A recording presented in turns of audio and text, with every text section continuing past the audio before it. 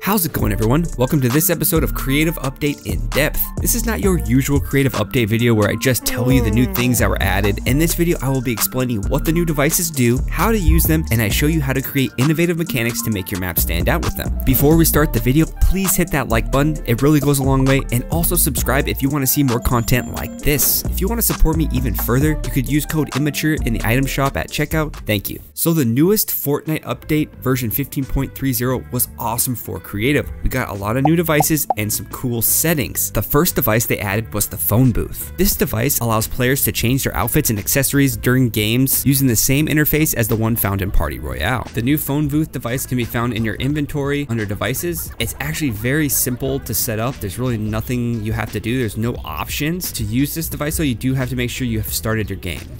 And basically you just interact with it. and change your outfits, And there you go, you have a new outfit, simple as that. There has been some reports where there are kind of a glitch where some people have been getting stuck inside. It's also not showing you the full animation right now of them exiting the phone booth, but I wanted to show you guys kind of a cool mechanic you guys could use with this to avoid getting stuck one, and two, you could kind of secretly add one of these devices and change your skins without people knowing. Let me show you how to do that. All right, first thing what you'll do, you can hide this somewhere in your map if you want, or if you don't want to hide it, you just want to get around that glitch where people could possibly get stuck, you can just use this as well. Um, however you hide this or where you want to get into it using a teleporter, that's going to be up to you. But first thing you're going to do, we're going to grab a teleporter device, place her down, make teleporter group to none, keep teleport group target to A, turn the rift visible to no, no, place sound effects, no, consume momentum, no. All right, cut it and throw it inside the, the phone booth. I get center in there. All right, perfect. Now what you're gonna do is copy it and paste it outside. Then you're gonna make this teleport group A and teleport group target to none. And then what I'm gonna do is I would like to turn on face player and teleport direction to yes. And you'll see this little streak here. When they're teleported, they're gonna face it this way, which is perfect. If you're just trying to avoid the visual glitch where players are getting stuck, all you have to do is just kind of place it on the outside of this phone booth. When you go in and you enter it, change your outfit, and see I'm kind of I'm I'm not stuck. It teleported me away from the phone booth device, so I can't get stuck or do anything like that. So that's how you avoid that glitch. But like I also said, you can set this phone booth up in a remote location under the map maybe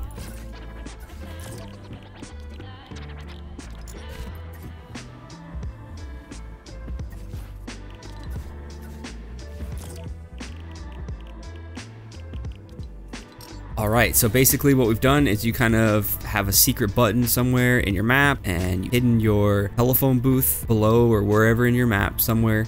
So say you're 1v1ing or in a box fight, you can secretly go in, change your skin real quick.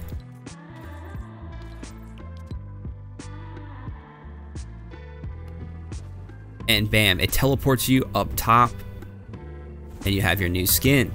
So it's kind of a cool secret way of using a telephone booth and people might not know that you change your skin and you can troll some people with it. And that's it for the phone booth device. The next new device they've added is the player checkpoint device. The new version of the player checkpoint device is placed as a prop rather than a trap and can be placed freely, rotated, copied, and pasted. All the existing functionality from the original player checkpoint device has been retained in the new device. Don't worry if you still have the old player checkpoint plate in your map, it's still going to work.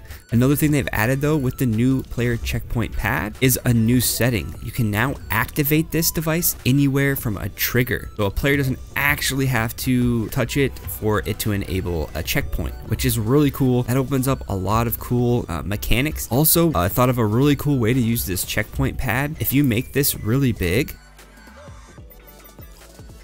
it increases the hitbox size. And what's cool about that is say you have like a wall so as you see, we kind of have that checkpoint device behind the wall. It, it, it, will actually read through the wall. So it's kind of undetected. It's very, very cool. And then as you see, we just, once we die, instead of spawning at our original spawn point, we spawn right where that checkpoint is. How cool is that? You can, uh, you know, use that to your advantage. You can make some really clean looking mechanics with that, I think. And the last device we're going to talk about is the end game device. This device allows creators to end the game or round immediately using channels, as well as dynamically set the winner and display custom callouts. So in your inventory under devices, grab the end game device. Let's put this bad boy down, interact with it, click all options, and you're going to see here we have two options now. You can end round and you can end game. There were other options, the team inventory pad, you could use tracker devices, you could end the round already, but what is new and different is you can actually end the game now. We never really had that option. I mean, you could end the game if you had one round and you ended the round. Now you can actually just end the game, which is really, really cool and a great add. The next option you see is um, winning team. This is going to basically tell you if you end that round or the game, what's going to happen. If you have it set to winning team, it's actually going to be looking in your game settings what you have set up. So if you have Gorber win conditions set to eliminations, it's just going to look at who has the most eliminations. And if you have it set to end the round, it's going to give the team with most eliminations, no matter who uh, interacted with this device, is going to give them the win. Now, if you have it set up to end round and you set this to winning team, it's going to be looking at your win conditions and more score or most rounds won. That's what it's going to go off on there. The other options you have on winning team is activate team. So whoever activates this device, whatever team, and this device does need a player signature. So I mean, it needs, you know, somebody sending a signal from a button, a mutator zone, maybe a tracker you have set up to get so many kills to win the game. Player signature needs to be pressed for this device to work. And then now what's cool is you can actually set it up by even teams. Um, this is also brings me to my next point. Um, they added new custom victory callout, custom defeat callouts. What's cool about this is if you looked in your user interface, you would have seen we've already been able to do this, right? But we've only had one option. You could, no matter what, when the game ends or the round ends, this is all you would get. But now you can customize it by teams. So you can say team one, good job, blue, and then you can go to team two, good job, red or whatever their names. You can just do more customizable options for callout. This is just really cool. This makes helps with more immersion for your game mode. The other th options you have, obviously you can enable disable these. What's cool is you can also filter by what team can activate this device. Um, another thing they've added that is totally new now though is we can actually filter ending a round or the game by uh, someone's class, which I haven't really thought of any good uses just yet for this, but I'm sure I will. I'm sure someone will. And there's this actually a really great add I love when they do stuff like this. Now, for this device to work, it, like I said before, it needs somebody's player signature and connect it with a channel. You would do that right here, and then uh, you can turn these off. So those are kind of the devices for the brand new endgame device. What I want to do, you guys, I want to show you a really cool mechanic that I think every map will use and let me explain what it is. I know they just released the new matchmaking device for everyone. Everyone can use this now. I know a lot of people's problems, especially new creators that have trouble filling up their lobbies, right? I mean, this goes for maps that maybe are semi-popular. This mechanic I'm going to show you is going to help fill your lobbies, help with that issue, right? It's super simple to set up. And basically what's going to happen is we're going to set up a system that looks and see how many players are at the start of the round. And if it only sees one player, it's going to automatically end the game and send players back to pregame lobby where they can rematch make again. It's really easy to set up, so just follow along with me. Alright, so let's just imagine this is your pregame lobby. Got your shoutouts, you got whatever. You got your matchmaking portal in here. Um, let's grab your spawn pads. So for your pregame lobbies with the new spawn pads, you guys, if you didn't know, I put my priority to primary. You probably don't have to do this, but make sure you have use island start on and enable during phase create only. I turn visibility off. All right, so this this will be your pre-game spawns. Um, now let's go to your where when your game starts, people are to spawn into. Go into this and set to game countdown on. Set to primary. Use island start. You're to turn on no. And then what I want you to do is if you have find a free channel, we're just going to use one for this instance. And then however many players are in your game, 16, 8, 4. We're just going to use four for an example right now.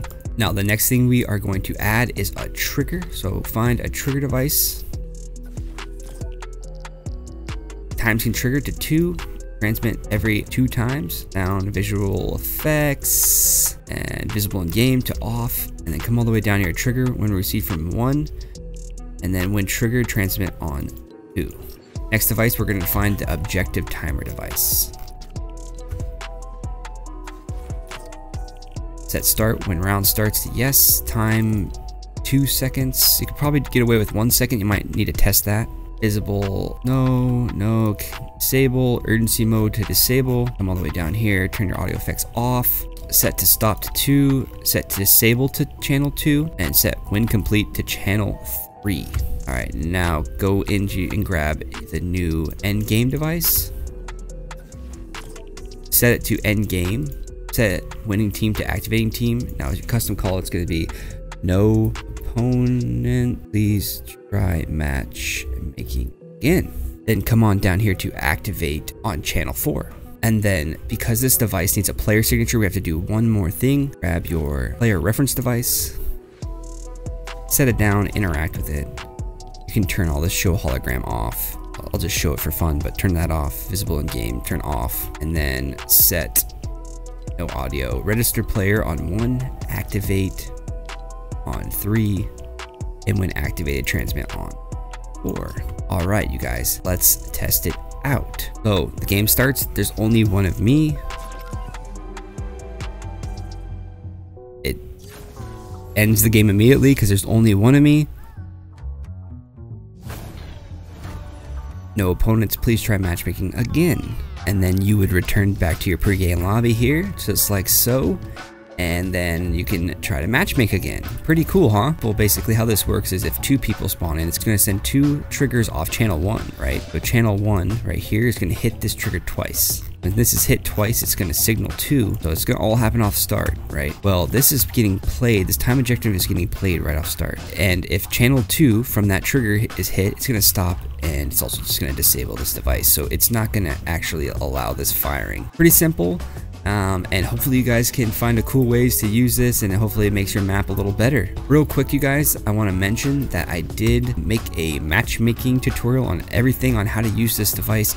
I even made another tutorial on how to randomize all your matchmaking portals and make a cool user interface, so go check those videos out if you want to learn more. Um, the last thing I want to show you guys before we end the video is the new setting under settings they added called start with pickaxe. You can now start the game with no pickaxe. This is perfect for like adventure maps or even death run maps you can use this for. Um, you'll see that we don't have any pickaxe in our hand. You can zoom in and stuff like that. And of course our handy dandy brand new mechanic we created is going to end the game for us.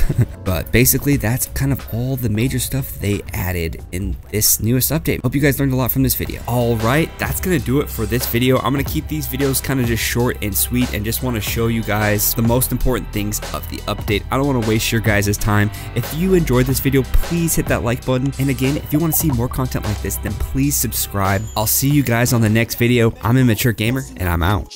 Hey, you're still here? Thank you so much for watching the whole video. I really appreciate it. If you don't mind, please press that like button. It goes a long way, I'm serious. And while I'm sitting here begging for likes, press that subscribe button. It would really mean the world to me. Alright, I'm really leaving this time. Hope you have a great day.